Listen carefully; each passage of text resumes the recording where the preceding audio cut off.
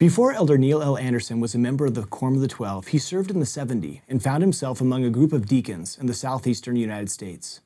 Who are your favorite ball players? Elder Andersen asked. The boys responded to him by telling him about every player on the Atlanta Braves. They knew the starting lineup, the home run leader, the pitcher with the best record, even those on injured reserve. Elder Andersen then asked the boys if they knew the names of those serving in the first presidency and Quorum of the Twelve Apostles. No response. Elder Andersen said, Finally, the name of the prophet was spoken. With some encouragement, the last name of one of the counselors in the first presidency surfaced. No other names were known. As fun and interesting as it is to follow the careers of professional athletes, perhaps some of us need to spend a little more time focusing on the players on the Lord's team. For that matter, we could ask ourselves can I name more members of the Avengers than I can members of the Quorum of the Twelve?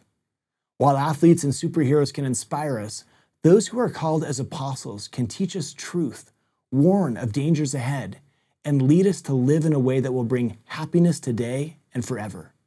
They are seers. They can know of things which are past and also of things which are to come. By them shall all things be revealed, or rather, shall secret things be made manifest, and hidden things shall come to light. And things which are not known shall be made known by them and also things shall be made known by them which otherwise could not be made known. Why would it be important to be able to name members of the first presidency and Quorum of the Twelve? Why would it be important to recognize them from their pictures? Isn't listening to their messages enough? I think a key part of that answer is, as Elder Neil L. Andersen taught, we rarely pay close attention to someone we do not recognize or know. Let's try a quick quiz right now. I'll put up an image of each member of the First Presidency and Quorum of the Twelve in a random order. Can you identify their first and last names before I say them?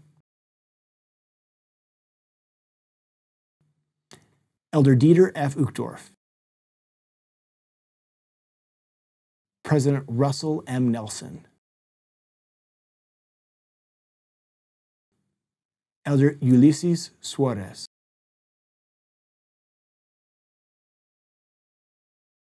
President M. Russell Ballard. Elder David A. Bednar. Elder Jeffrey R. Holland. Elder D. Todd Christofferson. Elder Gerrit W. Gong. President Henry B. Eyring, Elder Neil L. Andersen, Elder Ronald A. Rasband, Elder Quentin L. Cook, President Dallin H. Oaks, Elder Dale G. Renlund.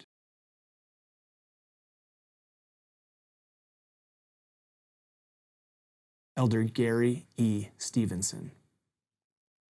Recognizing names and faces is an important first step, but of course, that's just the beginning. Speaking to young adults before his call to the 12, Elder Andersen asked, Could you share with me the counsel given by the first presidency and the Quorum of the Twelve Apostles from the most recent General Conference? Perhaps more important, could you share with me a recent decision where you changed something in your life because of the counsel received from one of these 15 men? These are powerful questions for us to ponder.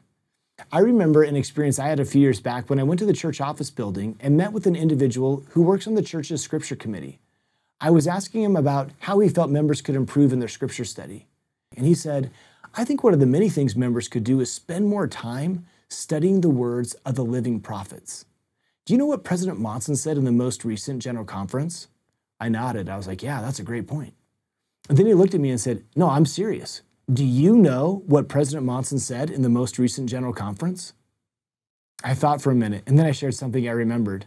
The person I was talking with said, Well, that's what President Monson said in the priesthood session of conference. Do you remember what he said on Sunday morning? And honestly, I didn't. I resolved that I would do a better job listening to and remembering what our church leaders are teaching. As we prepare for General Conference, I've curated a list of resources you can use to help get to know the living prophets. You can see that in the link below. I also hope you'll join me on Instagram this week at John Hilton III, where I'll be posting additional ideas to prepare for General Conference. I know that the members of the First Presidency and Quorum of the Twelve are prophets, seers, and revelators. Their words will point us to Jesus Christ and help us come closer to Him.